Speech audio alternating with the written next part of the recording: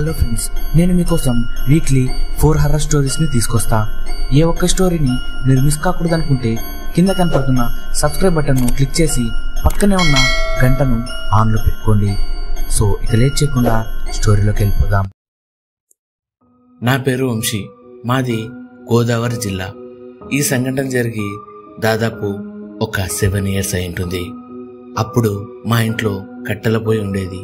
మేము కట్టెల కోసం అడవి ప్రాంతానికి వెళ్ళే వాళ్ళం మా ఫారెస్ట్ ఆఫీసర్ చాలా స్ట్రిక్ట్ అవడం వల్ల మార్నింగ్ ఎవరైనా ఫారెస్ట్కి వెళ్తే ఆ ఫారెస్ట్ ఆఫీసర్స్ వాళ్ళ దగ్గర ఉన్న గొడ్డని లాక్కునేవారు. దాంతో డే టైంలో ఫారెస్ట్కి వెళ్ళడానికి ఎవ్వరూ ధైర్యం చేసేవారు కాదు.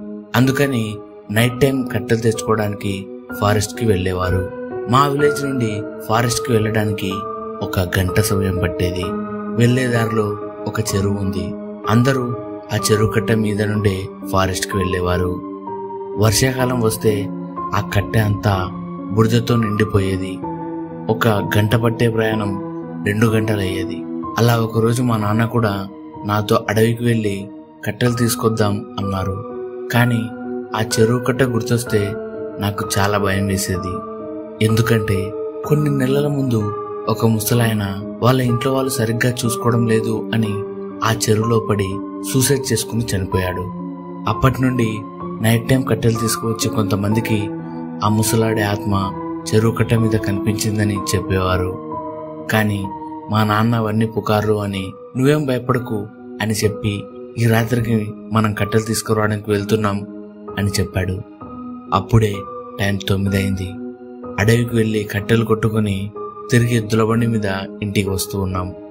కొద్ది దూరం వచ్చాక ఆవులు సడన్గా ఆగాయి. నాన్న ఎంత కొట్టినా అవి ముందుకు వెళ్ళడం లేదు.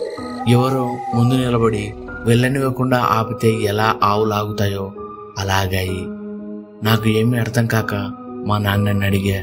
దానికి ఆయన ఆవులకు బరువు ఎక్కువ ఉండటం వల్ల ముందుకు వెళ్ళడం లేదు అని చెప్పారు.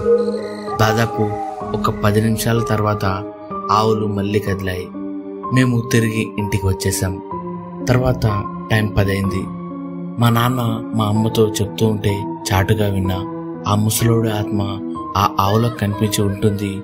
అందుకే ఆ ఆవులు ముందుకు కదలలేదు అని మాట్లాడుకుంటున్నారు. వాళ్ళ మాటలు వినగానే నా రోమాలు నిక్కబుడుచుకున్నాయి. నా ఒళ్ళంతా చెమటలు వచ్చాయి. ఇక ఆ రోజు నైట్ అంతా అదే విషయం గురించి ఆలోచిస్తూ పడుకున్నా. నెక్స్ట్ డే మా అమ్మతో నేను అడవికి రాను అని చెప్పేశాను. దాంతో మా నాన్న ఒక్కడే నైట్ అడవికి వెళ్ళాడు. టైం ఎనిమిది అవుతుంది. నేను ఫుడ్ తినేసి డిస్కవరీ ఛానల్లో వచ్చే మ్యాన్ వర్సెస్ వైల్డ్ ప్రోగ్రాం చూస్తూ ఉన్నా. అప్పుడే మా నాన్న నాకు కాల్ చేసి కట్టెలు కట్టే తాడును ఇంట్లోనే మర్చిపోయారా? తొందరగా తీసుకొనిరా అని ఫోన్ కట్ చేశాడు. దాంతో నాకు చాలా భయం వేసింది. ఎందుకంటే మా నాన్నతో వెళ్ళాలంటేనే నాకు భయం. అలాంటిది ఇప్పుడు ఆ చెరువు కట్టును నేను ఒక్కనే దాటి వెళ్ళాలి అని భయపడుతూనే తాడు తీసుకుని చెరువు కట్ట మీద నుండి వెళ్తూ ఉన్నా. కొద్ది దూరం బాగానే వెళ్ళాను కానీ నా అడుగులు ఒక్కసారిగా ఆగిపోయాయి. ఎందుకంటే కరెక్ట్గా ఆ ముసలోడు సూసైడ్ చేసుకుని చనిపోయిన ప్లేస్కి పది అడుగుల దూరంలో ఉన్న అక్కడి నుండి ముందుకు వెళ్ళాలంటే ధైర్యం సరిపోవడం లేదు. అప్పుడే మా నాన్న నుంచి మళ్ళీ ఫోన్ వచ్చింది. తొందరగా రారా ఎంతసేపు? అని అన్నాడు.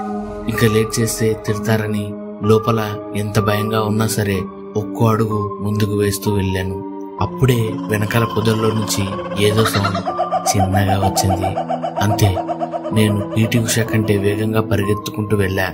మా నాన్న దగ్గరికి వెళ్ళే వరకు నేను మధ్యలో ఎక్కడ ఆగలేదు. ఇక నేను నాన్న కట్టెలు తీసుకుని ఇంటికి తిరిగి ఫాస్ట్గా వచ్చేసాం మాకైతే మళ్ళీ తిరిగి వచ్చేటప్పుడు ఆ ఆత్మ అయితే కనపడలేదు. కానీ చాలామంది చెప్పిన మాటలు వింటుంటే అది నిజమే ఉండొచ్చు అనిపించింది. సో స్టోరీ ఎలా అనిపించిందో కింద కమెంట్ చేయండి. అలాగే ఇలాంటి మరింటి ఇంట్రెస్టింగ్ హర్రర్ స్టోరీస్ కోసం మన ఛానల్ని సబ్స్క్రైబ్ చేసుకోండి. నెక్స్ట్ ఇంకో ఇంట్రెస్టింగ్ స్టోరీతో మేము ముందుకు వస్తా. అంతవరకు మీ mister introvert signing off. baik.